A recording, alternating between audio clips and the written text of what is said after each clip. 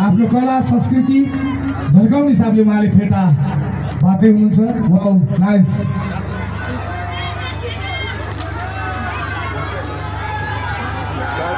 एक युगमा एकचोटि जन्मनु हुने व्यक्तित्व।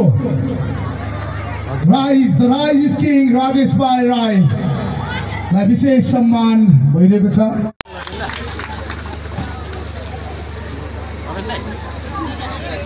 सम्मान पत्र प्राप्त। यहाँ गर्दै हुनुहुन्छ राजेश दाईले यताबाट प्रदान गर्दै हुनुहुन्छ।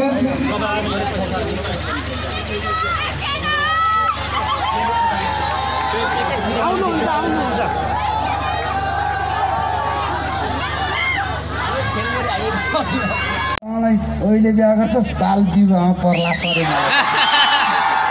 कसरी बाल विवाह राजेश त त मैले जन्मको साले त छोरा। त भर्खर अनि सत्र पुग्दैछ नि भन्नुभयो। म मम्मीले भित्रबाट किचनबाट यत्रो डन्ठा लिएर ए बुढा धेर्नवाला है धेर्नवाला नौ महिना मैले पालेको खास चाहिँ चाहिँ अठार पुग्यो भन्नु। अठार अठार हो पनि केटा डन्डी फोरहरू पनि आउँदैछ यता यता। अठारमा होइन। साथीको डन्डी फोरै आउनु हो, सक्यो अब त पानी रह्यो म फेरि गाउनुकै लागि जन्मेको यस्तो